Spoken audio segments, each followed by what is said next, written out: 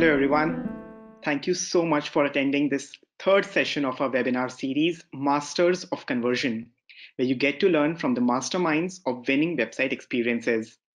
My name is Vipul, and I lead co-marketing for VWO, a full funnel experience optimization platform. So before I introduce our master for tonight's session, I just wanted to thank all of you who have been attending VWO webinars in the past uh, for your consistent support and encouragement we at VWO, uh, we strive to make your life easy by helping you understand the value of customer experience and how to make it better through an experience optimization program.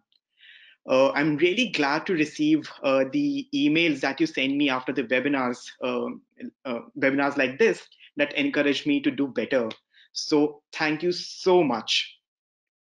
Our master for tonight is the conversion optimization manager at Bitdefender, the most trusted cybersecurity technology provider in the world. Joining us all the way from Romania is Antonia Bogatu. Uh, it's great to have you here with us, Antonia. Thank you for having me. Perfect. Uh, it's, I'm excited about today's session.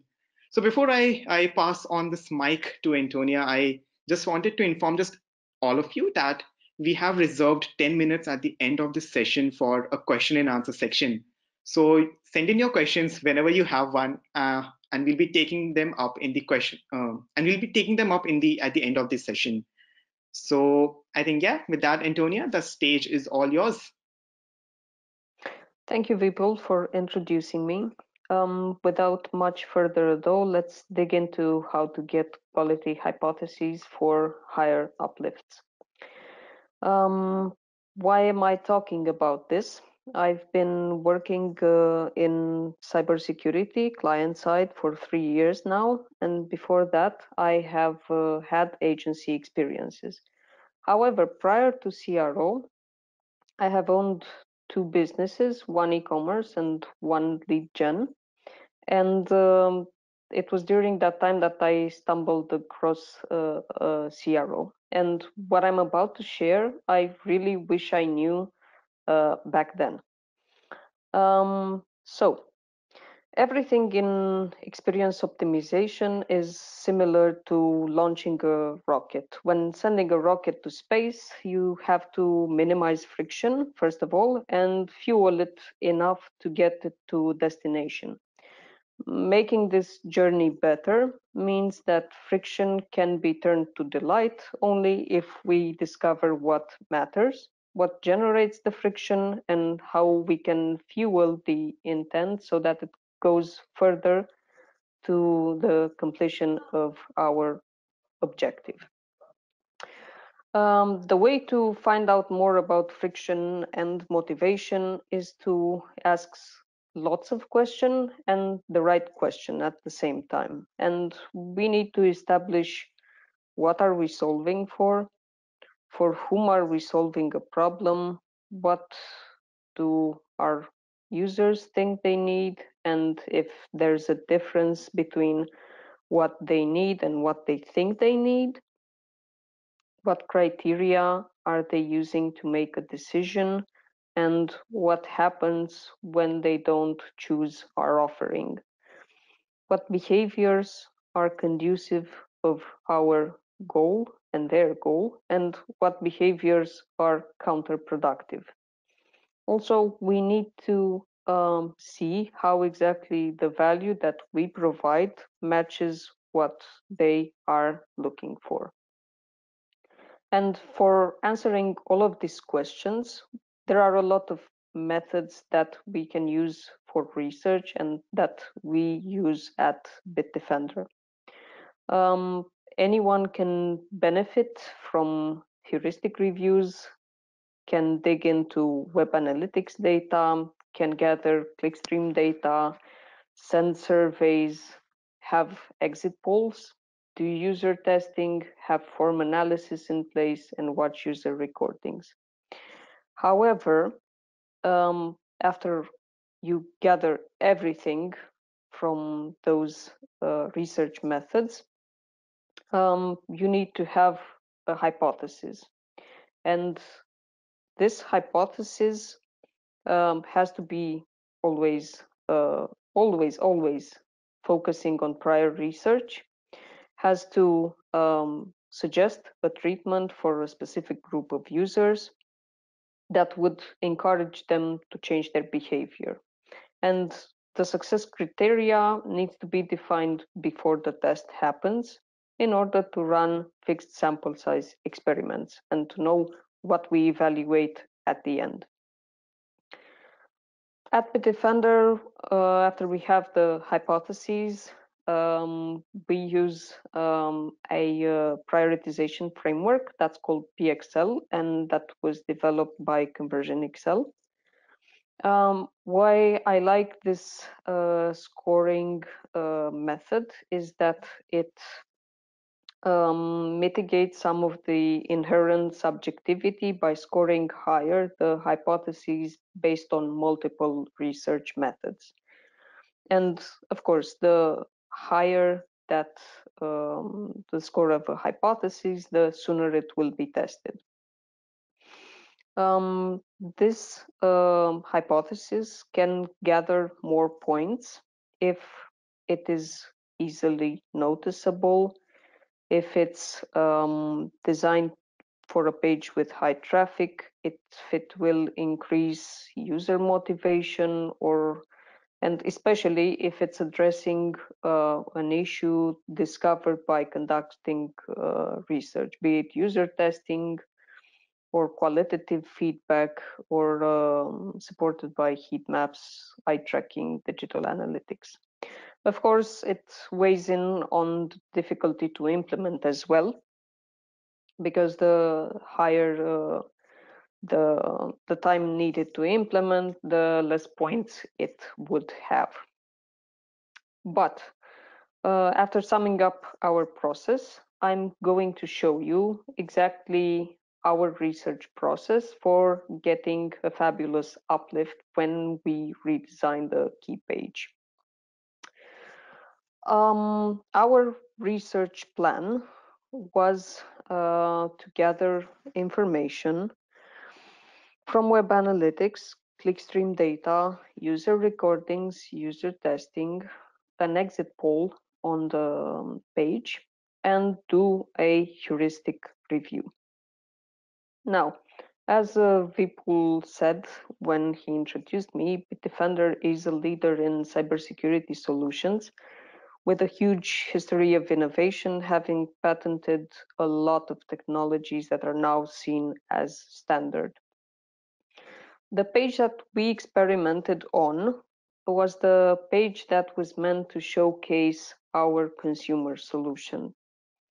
So um, we're gonna go through the few sections that the page have in order to um, see how it was before, what we found from research, and after that I'm going to go through what we did for an alternative. So the first screen um, in the page we've had uh, used to have a news header that displayed technologies, displayed an award, as well as seeing um, giving the, the people the option to go for an offer or to compare some products. The second screen was focused on showing them a widget that was meant to help them choose a security solution for their particular need, as well as at a small, uh, at a glance, small navigation that would send them to all products, um, another widget for choice downloads.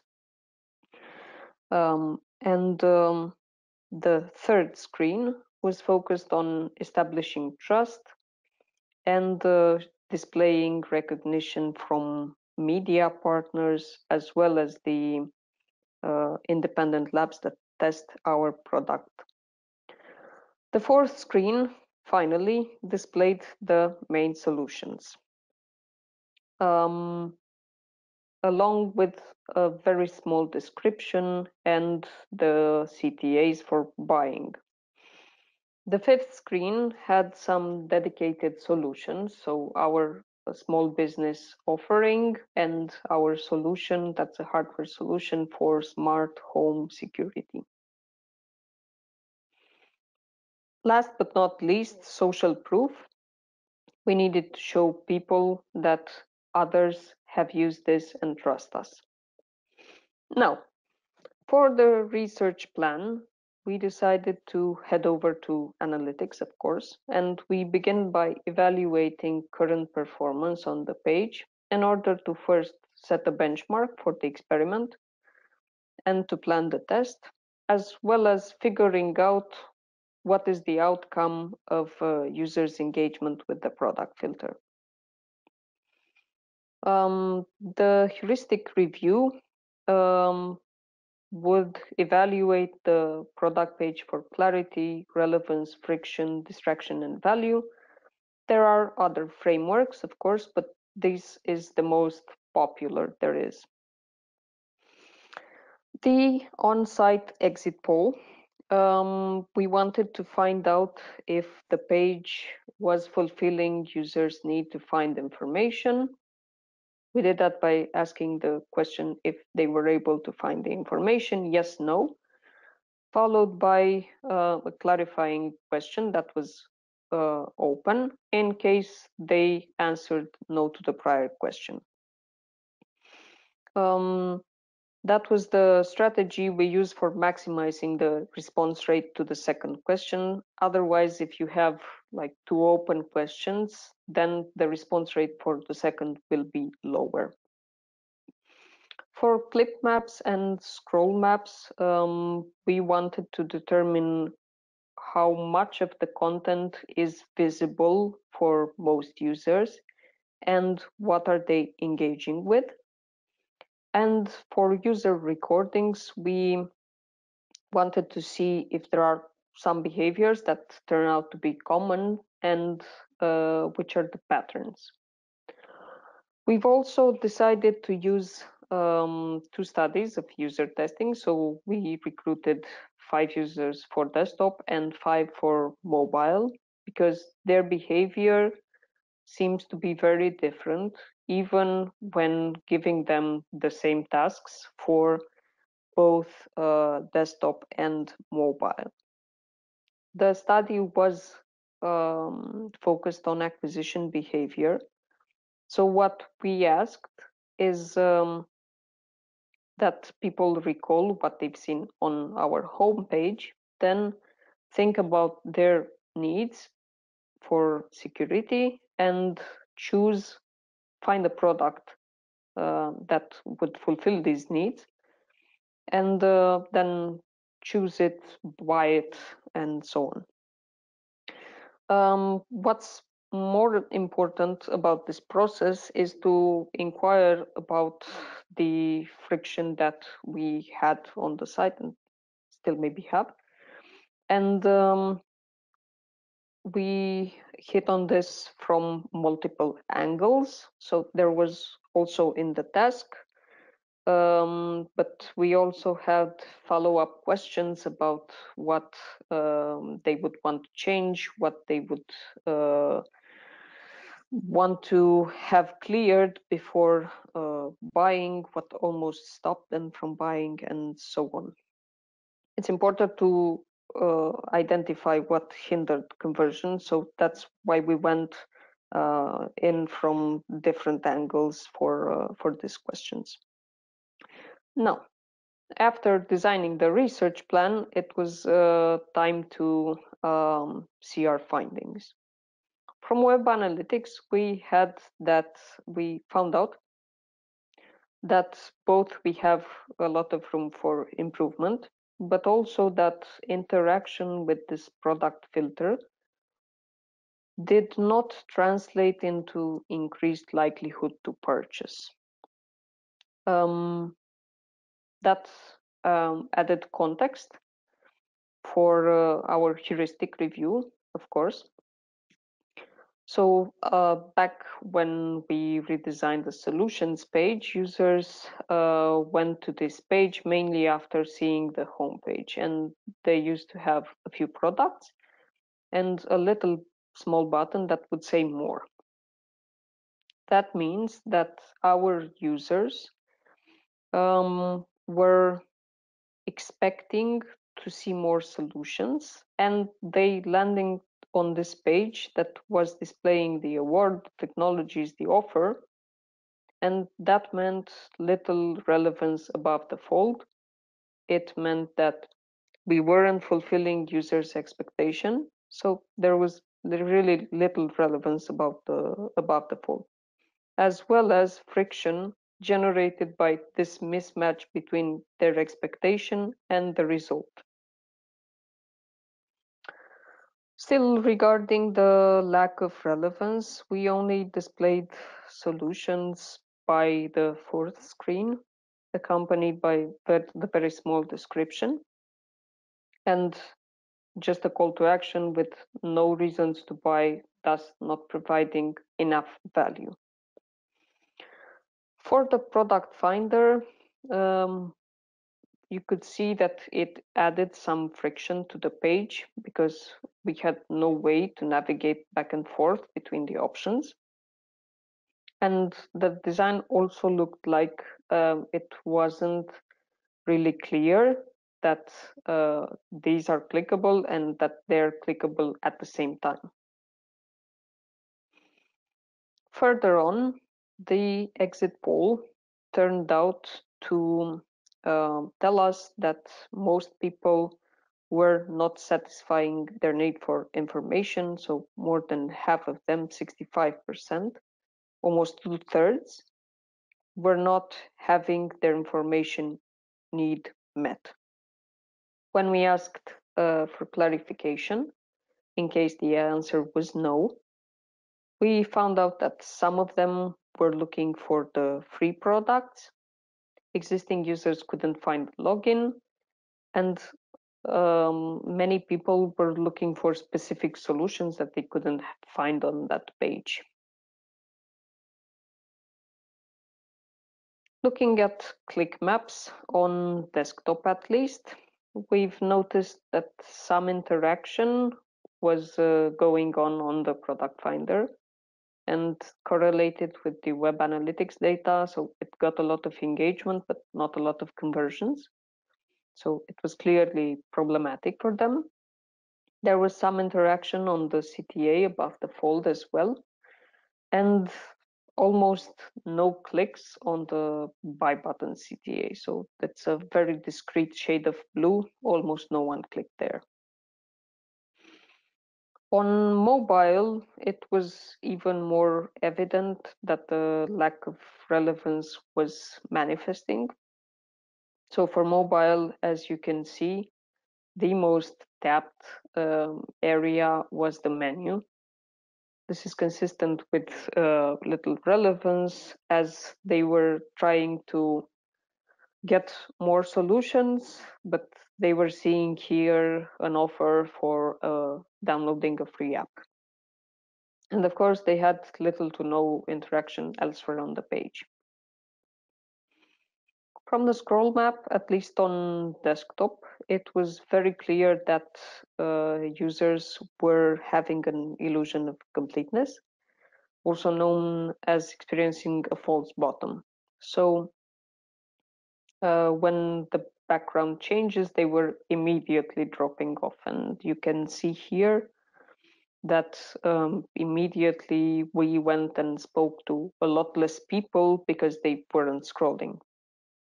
So after the first one and a half screen, we had less than uh, half of the users to scroll further and see the rest of the, the page. For mobile, there was a similar scrolling pattern to desktop. This usually doesn't happen, but here it manifested the same even though having the first section promote our free app meant that even less people um, scrolled down and engaged with the content. From user recordings, we've seen this pattern confirming lack of relevance uh, as well um, there was this pattern of people going back and forth to that page and eventually relying on the menu to find a security solution as they couldn't find them on uh, on that page. For mobile, uh, we've had something quite similar.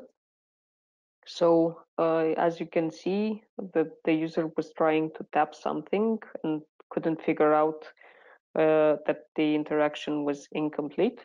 So this added friction, made them abandon, and also the scrolling up and down meant that the page didn't provide the content that they were looking for.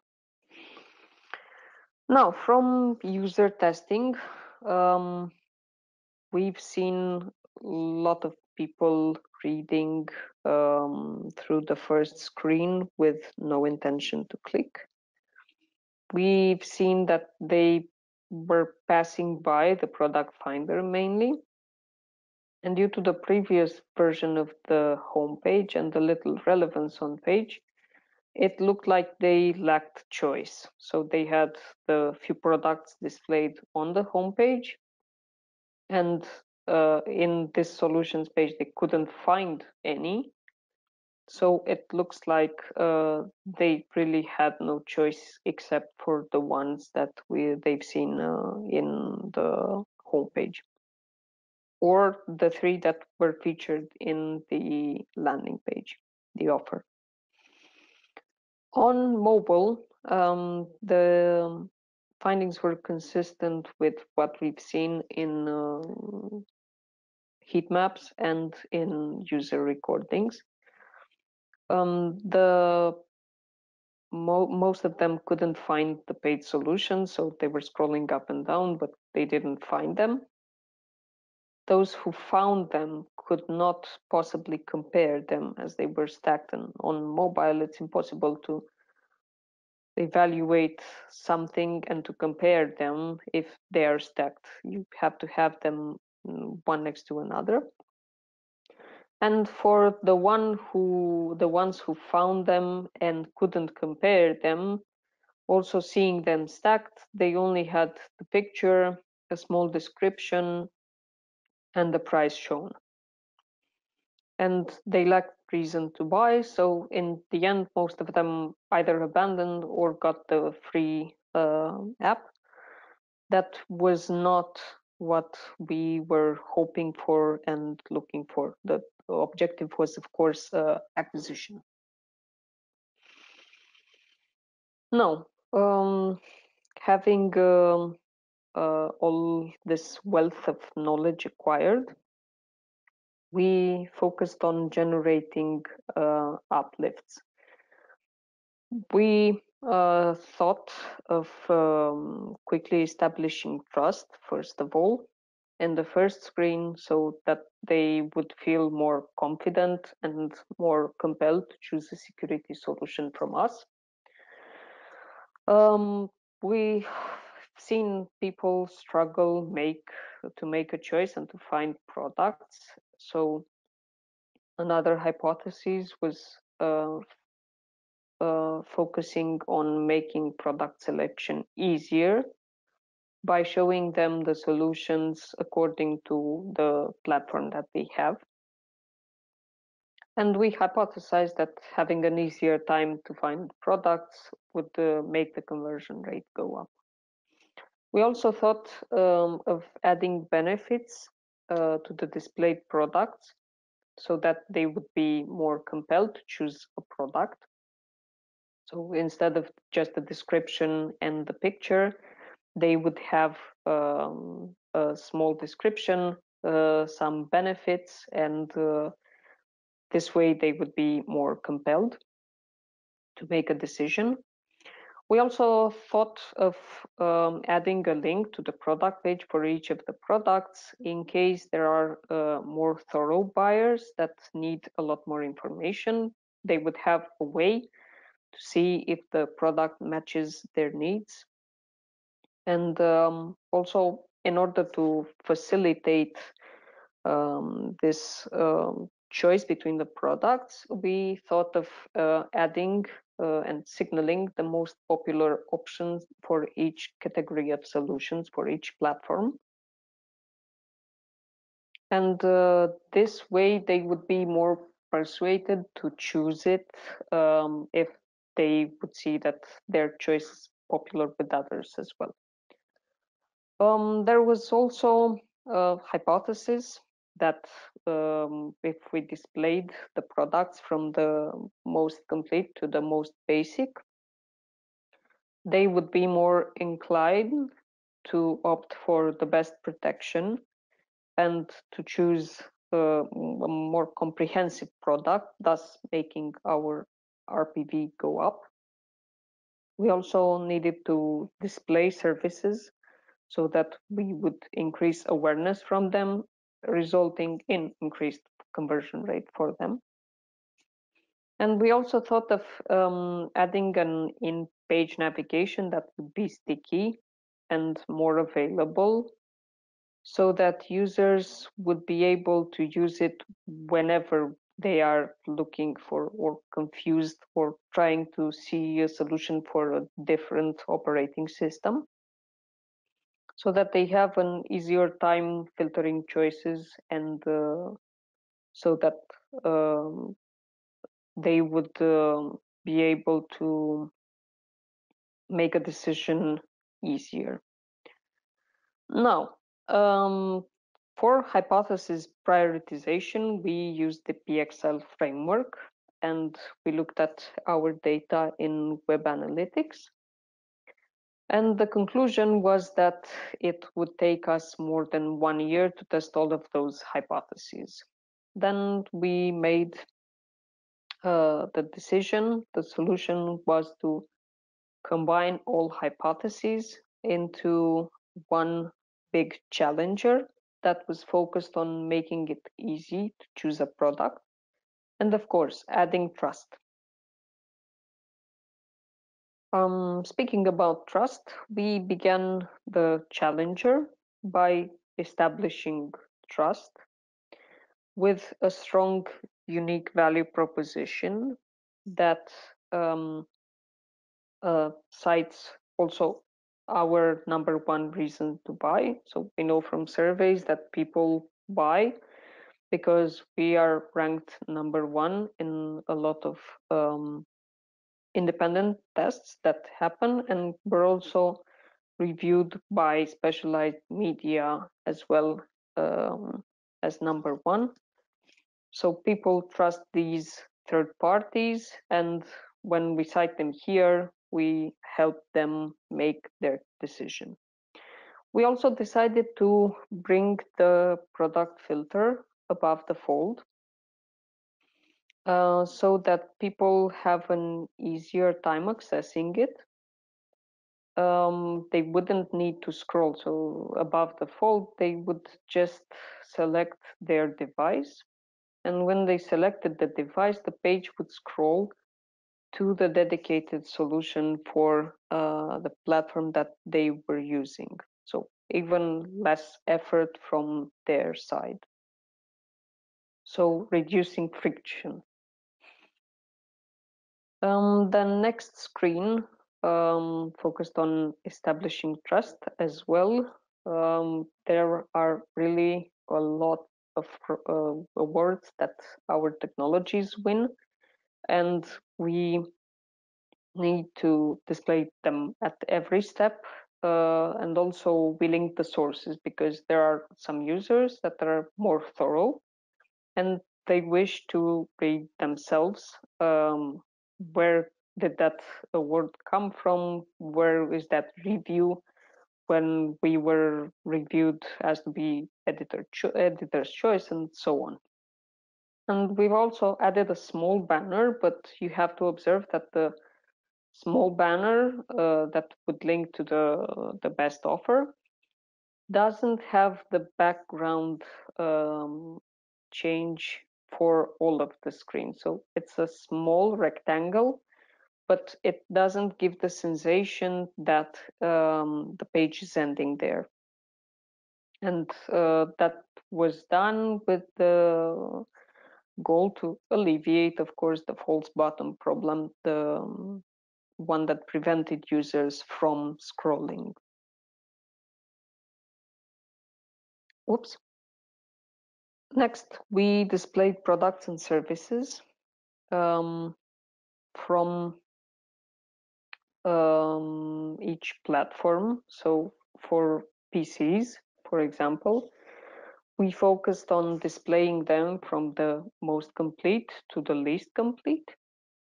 We included a few of the features that we knew people are using to evaluate. We um, showed the most popular choice in the category, and we've also provided them a link to the product page that would help the most thorough of them make a decision. Also, uh, the navigation that uh, you can see here with PC, Mac, Android, iOS, and multi-platform.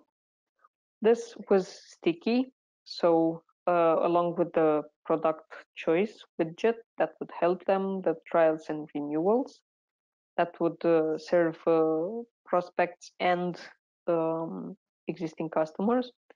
These were all sticky so that they would be um, available for um, everyone, even on scroll, without needing to have uh, any additional effort from their side. Uh, at the end, uh, but not the least, of course, another trust area for those who might have uh, might need more convincing. The trust area was showing how Bitdefender compares to other cybersecurity in terms of protection and performance.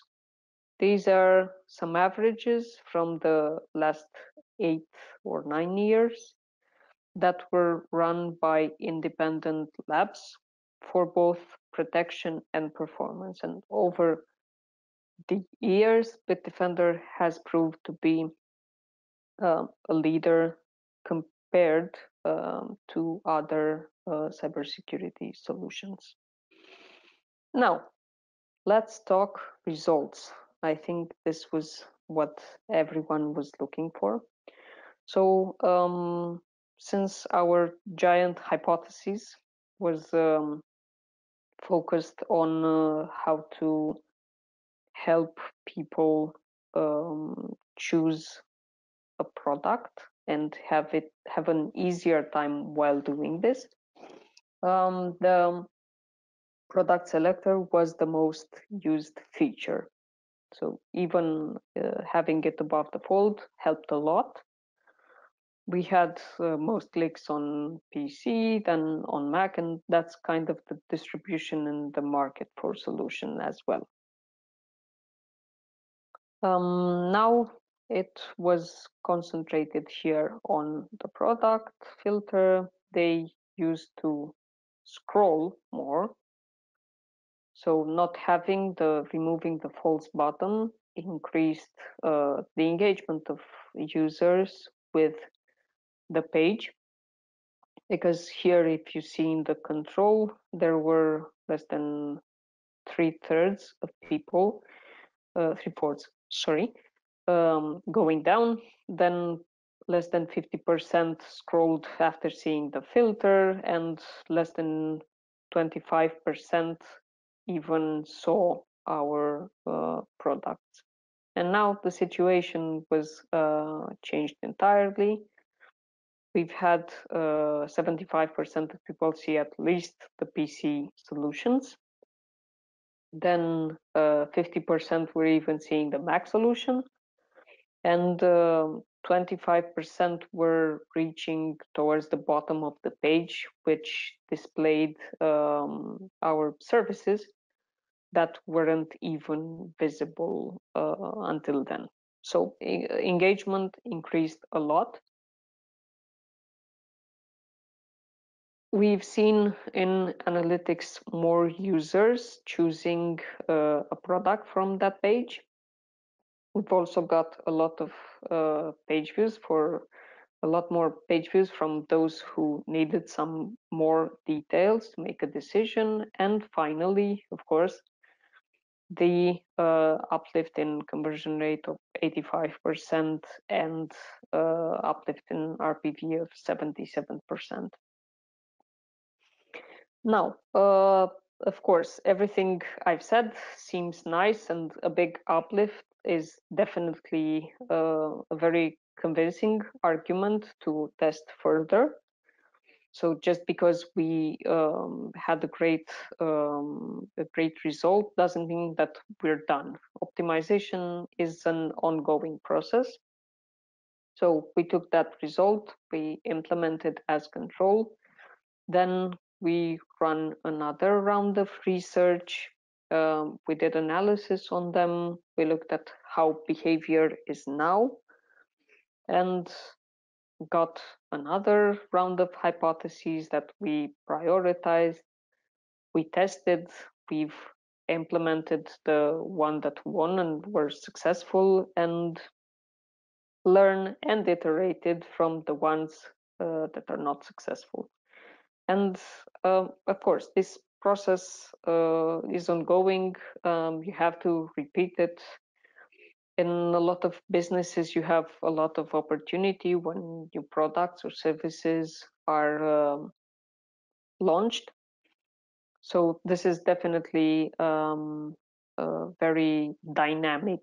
Uh, optimization is very dynamic. Now, enough um, about me. I want to hear your thoughts, your questions about this. Uh, wow, Antonia, that was one incredible uh, presentation. I really loved each and every uh, slide and each and every um, point that it that you had to share. Uh, I'm really happy that a, a, company of a scale of Bitdefender actually understands the value of hypothesis and invests so much time in uh, collecting data to build a proper hypothesis and you know run experiments based on that. So that's incredible effort um, and i really appreciate that.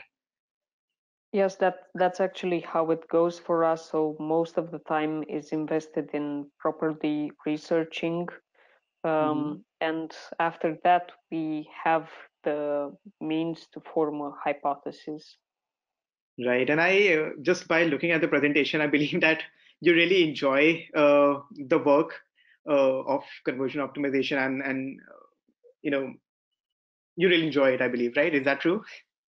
Oh yes. Well um, i figured out that um, there there was a gap between what we think that our customers need and what they actually need and exploring that every chance that i get is really really very exciting Right, I totally uh, relate to that. Uh, I, I, can totally understand it as well. Perfect. So we've got a couple of questions for you, Antonia. Uh, I'll I'll take them one by one. Right. So get ready. So the first question is coming from Vlad. So Vlad has a really interesting question about scalability. So he's asking, how do you go about the scalability of hypothesis? For example, uh, if a change increases a conversion rate in a specific country would you then go ahead and test it globally to see if that scales up? Um, yes, that's usually what we have. Um, however, um, it can go well and we can implement across markets, but there's also tests where we have most of them behaving uh, in a way.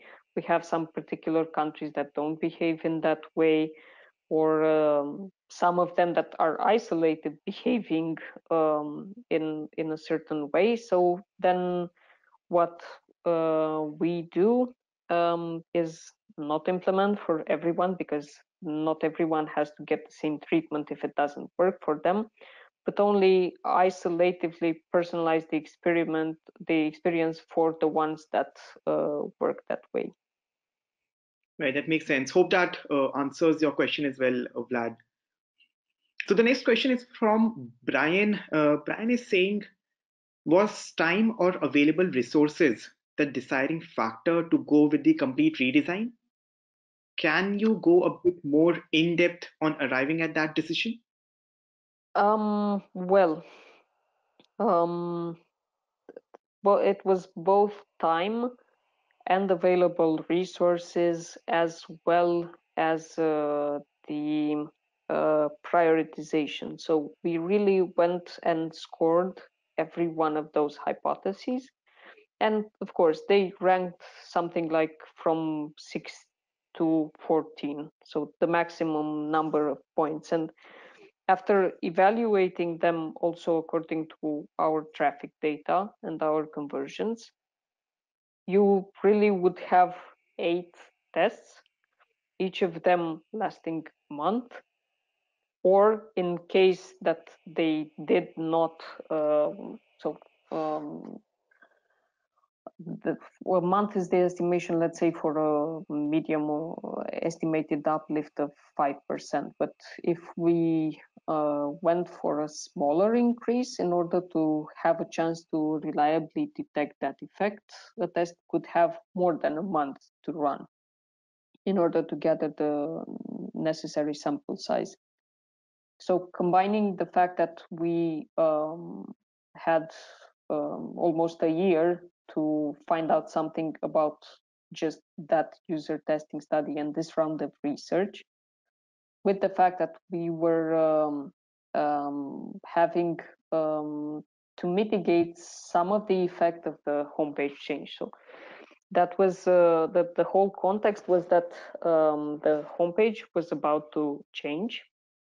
And from all of those options that were sending people to this page and to the product pages, we were going to only have the one button sending them to this page.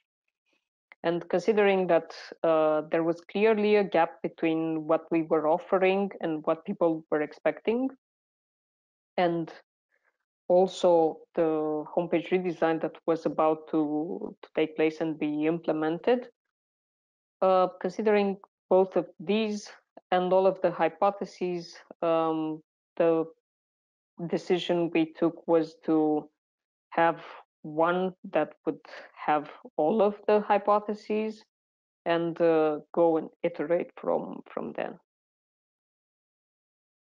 Right, right. So that makes sense. I think uh, prioritizing your uh, hypothesis is a key player uh, in terms of figuring out, hey, what how much time do you have and how much what test can you accommodate within that time yes can can we afford uh, to direct all traffic there uh, when we have this gap between what customers or prospective customers want from us and what we are offering? Do we afford to take one year to test all of this? Well in our case was uh, definitely not the answer. Right right. Totally understand that. Hope that also answers your uh, question, Brian. Uh, the next question is an interesting one. Uh, it's from Jenny. So Jenny is asking, how large is your CRO team? How many tests do you run a year? Um, well, the CRO team is not that large. Um, the infrastructure is uh, quite limited. The marketing team isn't that big. Um, I'm collaborating with research and design teams and implementation teams as well as the with the stakeholders. So there are two acquisition and retention teams and we work together. This infrastructure um, also uh, takes care of the spreading of knowledge. So if i work directly to the people that are supposed to then learn from a test and implement those changes. We're also um, helping out to um, spread this knowledge from the test. And also, um, it's the infrastructure for better knowledge uh, further on. So um, the team itself isn't that big, but working directly with the stakeholders and have them participating in tests um, helps us uh, have a lot of progress and quite big, uh, it sometimes helps having quite big changes because if we were just a small team and a little silo, um, we would have a harder time um, getting approval for these kinds of tests. But working together, then we can do even bigger changes. Hope this answers your question. Right, right. Uh, so, so that actually makes me curious about uh, this one point. I remember in our previous session with Sigi from HSBC last uh, last week, he mentioned about a learning hub, and that was quite an intriguing idea. Do you too have uh, sort of a learning hub of a kind wherein you know where wherein you feed the learnings from your experiments or you know whatever learning you have and share it with the entire team so they are all on the same page um, so we have um, a couple of ways that we do this um, we have firstly something that resembles a newsletter but it's not really a newsletter where we announce um, what experiments we have live, what results we've had, and uh, what uh, learnings we have for the future. Um, that is one way, and it's the more extended way that um, knowledge from this experimentation program gets uh, spread across the company. And there are um, smaller sessions that happen just with the acquisition or the retention team or the product marketing team. Um, the, and we gather specifically for a round of tests, pros tests, and um, everyone shares their opinion. Um, we see if there's something to adjust, and after we run the experiment, we meet again for an extended uh, analysis on the set test, whether we have to learn or implement and learn for other experiments um, or other pages that would go live without um, without an experiment priorly but right. using the, the learnings that we've had from the from the test and of course the third way but that's um, less used uh, we archive full test data along with um, mockups and uh, results and hypotheses and research and we have a knowledge base but they don't uh, it's not really that uh, accessible. Let's say that internally it's easier to process uh, an information with someone uh, along your side than to just go into some impersonal uh, knowledge base about this. Right right. That totally makes sense and i uh, really love that you do uh, pay attention to you know distributing the knowledge from a particular experiment among the entire team or mm-hmm. whoever just yeah that's that that's great just vital because um, some sometimes and um, it's some knowledge that uh, turns out to still be valid for other situations and if you right. have learned it from a test priorly then you can just um, implement and, and be sure that it works exactly exactly and that is the primary purpose of having uh, a central repository of all the learnings so that you, uh, you're not you know uh, sort of what you what you call repeating what you've already done you know mm-hmm, you can mm-hmm. well from time to time things change and you can repeat some experiments just because you ah. it it worked some five years ago it doesn't mean that it wouldn't mm-hmm. work now but uh, for things that were quite recently tested yes we don't go and double that down we prefer to experiment with uh, things that would help us learn new things about our audience Right, exactly. Uh, thank you for answering that. So uh, we are a bit slightly out of time. I'm sorry, guys. I'll just take two more questions here. Uh, the second last question that I'm taking is uh, something which I am also curious to know more about. And uh, this question is coming from Hari Manjunathan. Uh, he's talking. He's asking, how do you recruit users for user testing of your landing pages? Oh, uh, that's a really good question. So um, um, there are two ways that we do this. One is through um, conventional uh, user testing services, and there we um, filter down their database um, for the particular personas that uh, we know that we have. So we need them to resemble what our typical buyers look like. Because if there wouldn't be someone for whom this content was relevant, then the results would be unusable. Um, that's the first method. Um, however, for for this method, I wouldn't recommend relying on income or education data really, because anyone can say they're kind of whatever, and um, it's uh, not like you have a background check for that. So you can recruit them in terms of demographics and geo, but uh, other than that. Um, for a very exact um, uh, the matching of the persona, it doesn't work. The second way is uh, on our website. So we have a, a small prompt that uh, would uh, ask users if they want to help us.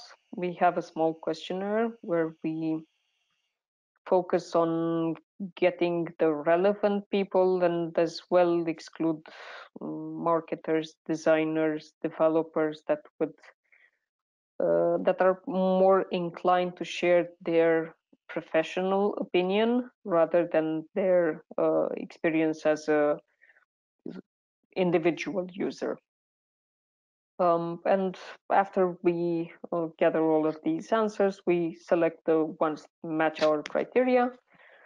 Um, we conduct the user testing and we usually give them some reward like um, an Amazon coupon or vouchers for our products or um, something like this. Uh, I hope this answers the question.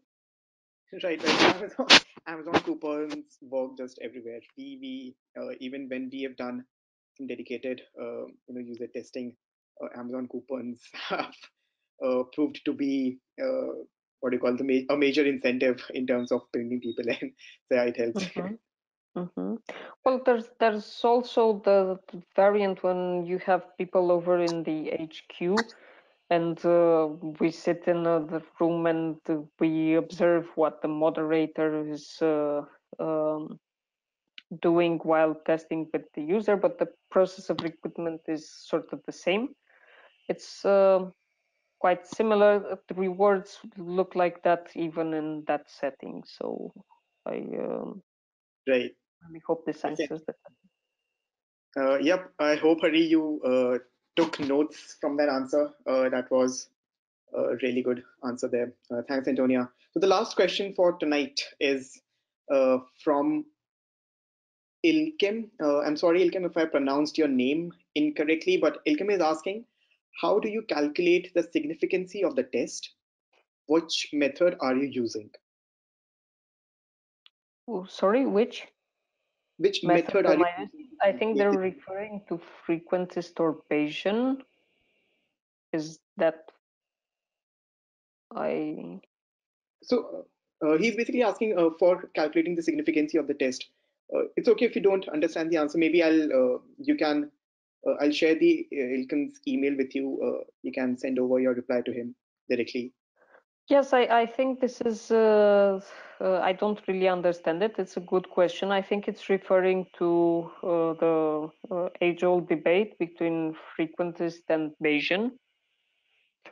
Um, and I, having a background in finance myself and a lot of statistics, I um, am fluid with both methods. And um, there are a lot of other things to consider uh, not only statistical significance when deciding for a test. Now, for most tests that I've seen, um, we don't see many or significant differences between using frequentist tests or Bayesian. So if a hypothesis was really good, and we based it on research, the result will be significant even in a frequentist test, so a T or Z one-tailed or two-tailed, uh, and in a Bayesian setup as well. So I hope this answers the questions. I don't personally have a preference. Um, frequentist or Bayesian is kind of the same if the test hypothesis was good. Sure, not a problem, Antonia.